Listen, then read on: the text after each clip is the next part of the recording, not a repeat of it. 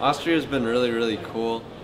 When we came here, we were, or at least I was surprised, um, just what the country looks like. Uh, I didn't know anything about Austria, and I still don't know much, but just all the mountains and everything, and how all these giant forests and castles and stuff all over the place. Uh, it's all been really, really cool.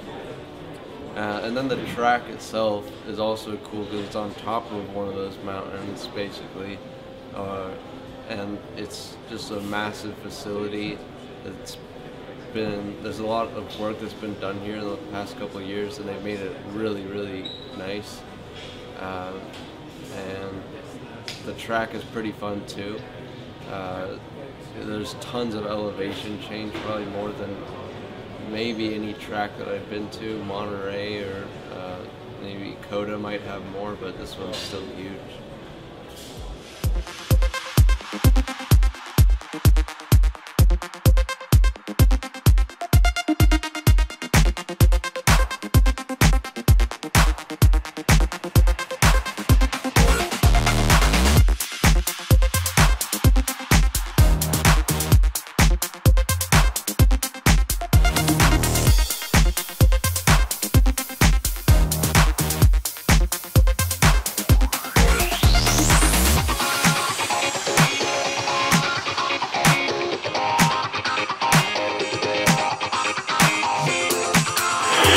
Okay, man, get ready, pit lane clear.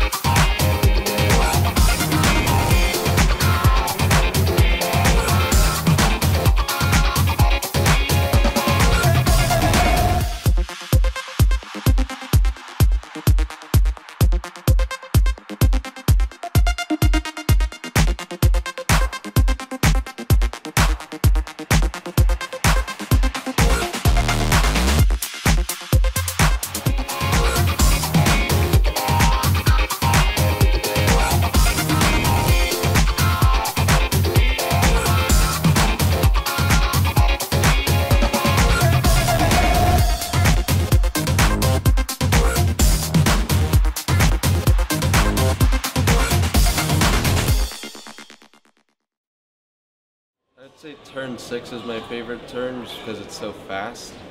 Uh, you come in in fourth gear and you just brake a little bit and turn in and you just you get back on the gas really early and carry out up, up over the curbs um, and then it leads up the hill and then over the crest into turn eight.